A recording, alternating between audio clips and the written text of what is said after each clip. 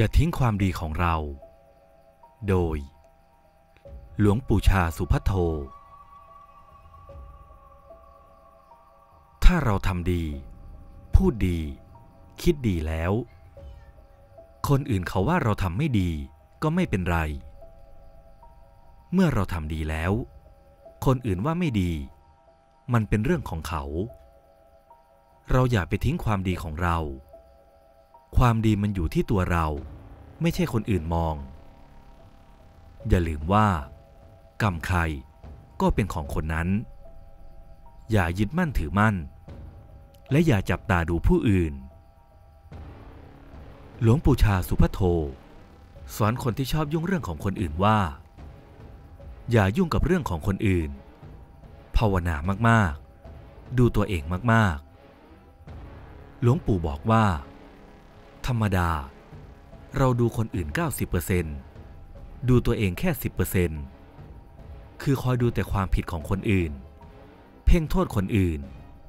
คิดแต่จะแก้ไขคนอื่น กลับเสียใหม่นะ ดูคนอื่นไว้แค่ 10%ดูเพื่อศึกษาว่า เมื่อเขาทำอย่างนั้น คนอื่นจะรู้สึกอย่างไร เพื่อเอามาสอนตัวเองนั่นแหละ ดูตัวเอง พิจารณาตัวเอง 90%จงเรียกว่า ปฏิบัติธรรมอยู่ ธรรมชาติของจิตใจ มันเข้าข้างตัวเอง โบราณพูดว่า เรามักจะเห็นความผิดของคนอื่นเท่าภูเขา ความผิดของตนเองเท่ารูเข็ม มันเป็นความจริงอย่างนั้นด้วย เราต้องระวังความรู้สึกนึกคิดของตัวเองให้มาก ๆ เห็นความผิดของคนอื่นให้หารด้วยสิบ เห็นความผิดของตนเอง ให้คูณด้วยสิบจึงจะใกล้เคียงกับความจริงและยุติธรรม เพราะเหตุนี้ เราจึงต้องพยายามมองในแง่ดีของคนอื่นให้มากๆ และตำหนิติเตียนตัวเองมากๆ แต่ถึงอย่างไรอย่างไร เราก็ยังเข้าข้างตัวเองอยู่นั่นแหละ พยายามอย่าสนใจการกระทำการปฏิบัติของคนอื่น ดูตัวเอง สนใจแก้ไขตัวเองนั่นแหละมาก ๆ เช่น เข้าครัวเห็นเด็กทำอะไรไม่ถูกใจ แล้วเกิดอารมณ์ร้อนใจ ยังไม่ต้องบอกเขา ให้แก้ไขอะไรหรอก รีบแก้ไขระงับอารมณ์ร้อนใจของตัวเองเสียก่อน เห็นอะไร คิดอะไร รู้สึกอะไร ก็สักแต่ว่าใจเย็นๆไว้ก่อน ความเห็น ความคิด ความรู้สึกก็ไม่แน่ใจ ไม่แน่ อาจจะถูกก็ได้ อาจจะผิดก็ได้ เราอาจจะเปลี่ยนความเห็นก็ได้ สักแต่ว่า สักแต่ว่า ใจเย็นๆไว้ก่อน อย่างไม่ต้องพูด ดูใจเราก่อน สอนใจเราก่อน หัดปล่อยวางก่อน เมื่อจิตสงบแล้ว เมื่อจิตปกติแล้ว จึงค่อยพูด จึงค่อยออกความคิดเห็น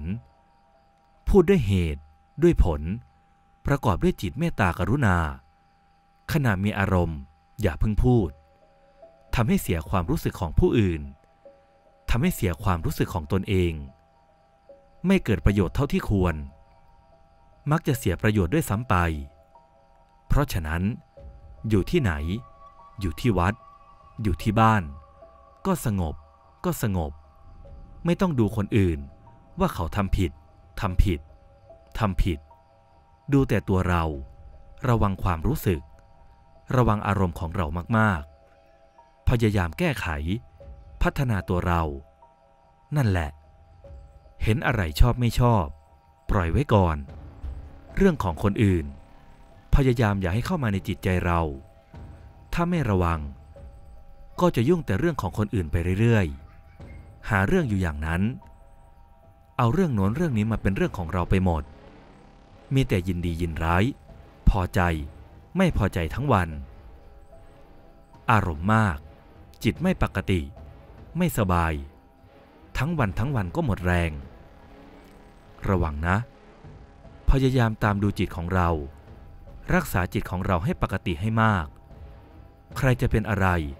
ใครจะทำอะไร ดีหรือไม่ดี เรื่องของเขา แม้เขาจะทำกับเรา ว่าเรา ก็เป็นเรื่องของเขา อย่าเอามาเป็นอารมณ์ อย่าเอามาเป็นเรื่องของเรา ดูใจเรานั่นแหละ พัฒนาตัวเองนั่นแหละทำใจเราให้ปกติ สบายสบายมาก ๆ ฝึก หัด ปล่อยวางนั่นเอง ไม่มีอะไรหรอก ไม่มีอะไรสำคัญมากกว่าการตามรักษาจิตของเรา คิดดี พูดดี ทำดี มีความสุข ธรรมะโดย หลวงปู่ชาสุพัทโท